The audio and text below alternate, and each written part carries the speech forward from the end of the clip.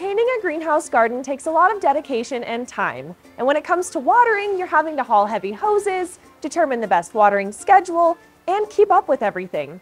But what happens if you want to go away on vacation? That is where an automated greenhouse irrigation system can come in handy. Today, we're going to go over three different options so that you could pick which one is best for you.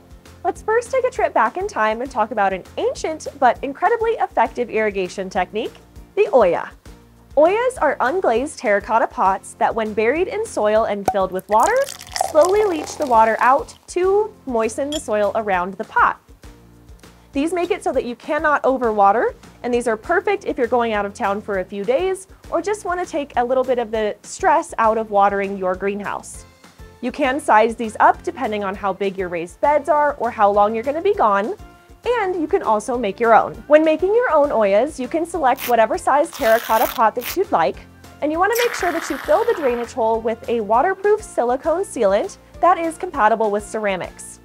You will then either just bury the pot straight into the soil and use the base of the pot or the saucer as a lid, or you can add a second pot to the top of it to make an even larger Olla for a larger raised bed. Another low-tech but effective solution is the soaker hose. Soaker hoses are made of a permeable material that is the entire length of the hose, so they slowly seep water out as your hose is running. By utilizing a timer, you can make sure that your garden is watered on a regular schedule without you having to even lift a finger. It is best to not let your hose exceed more than 150 feet for best results, so while you can connect multiple hoses together, it may be better to use a hose splitter at your water source. If precision is what you're looking for, then drip irrigation is the solution for you.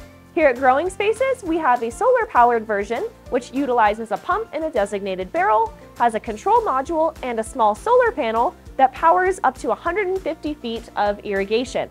This system is ideal for smaller greenhouses or a section of your perimeter beds. If you're looking for a larger scale system, we would recommend you to utilize DripWorks, who has fully customizable options and all of the parts and components that you'll need.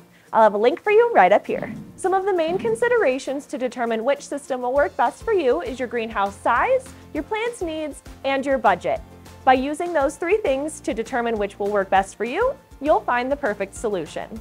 It's also important to remember that no matter which option you choose, none of these automated systems are a set it and forget it type of system. You want to make sure that you're regularly inspecting your plants for pests and diseases, which most gardeners tend to do when they are watering. It's also important that you remember to maintain your systems so that they continue to work for you in the long run. We hope you found some meaningful solutions in this video to help you with your greenhouse garden or your growing dome journey. Thank you so much for watching and we'll see you soon.